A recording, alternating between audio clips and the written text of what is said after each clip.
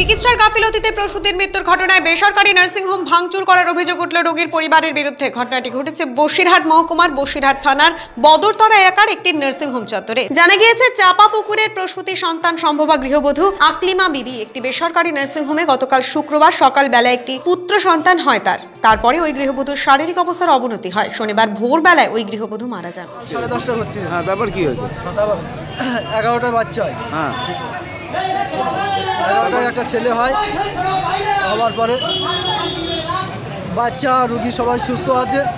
আমি সকাল সকাল দশটার থেকে রাত দশটা অবধি আমি ছিলাম রুগীর পাশেই ছিলাম। হ্যাঁ। আমি যখন চলে যাচ্ছি রুগী ডাক্তারবাবুকে জিজ্ঞেস করছি রুগী বাচ্চা ভালো আছে? তো বলল হ্যাঁ ভালো আছে। তাহলে আমি ডাক্তারবাবু আমার মা আছে আমি চলে যাচ্ছি। যদি অসুবিধা হয় ফোন করো আমার মা আছে। হ্যাঁ। তারপরে? এবার আমি ওখান থেকে বলে বাড়ি গেছি বাড়ি গিয়ে রাত সাড়ে তিনটের সময় আমার হসপিটাল দেয় নার্সিং ফোন করছে। যে তোমার রোগীর শরীর খারাপ খুব আমি ডাক্তারবাবু আমি এক্ষুনি আসছি। কুড়ি মিনিট ধৈর্য ধরে আমি কুড়ি মিনিটের ভেতর চলে আসছি। আমি রীতিমতো কুড়ি মিনিটের ভেতর চলে এসেছি। এসে নিয়ে দেখি আমার রুগী হসপিটালে নার্সিংহোমই নেই নার্সিংহোম তালামারা।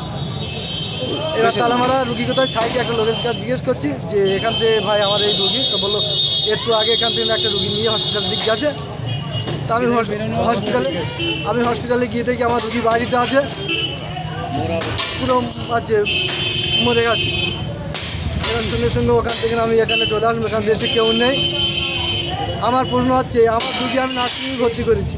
হসপিটালে কীভাবে মৃত গৃহবধূর স্বামী জাহাঙ্গীর শেখের অভিযোগ, চিকিৎসার গাফিলতিতে মৃত্যু হয়েছে আকলিমার। এমনকি মৃত্যু হওয়ার পরে দায় এড়াতে বসিরহাট জেলা হাসপাতালে পাঠানো হয়। এই ঘটনার জেরে এলাকায় উত্তেজনা তৈরি হয় এবং নার্সিং হোমের ভেতরে ও বাইরে ভাঙচুর চালায় মৃত পরিবারের লোকজন। যদিও সদ্যজাত পুত্র সন্তানের অবস্থা স্বাভাবিক রয়েছে। উত্তর চব্বিশ পরগনা থেকে শ্যাম বিশ্বাসী রিপোর্ট, খবরিয়া চব্বিশ।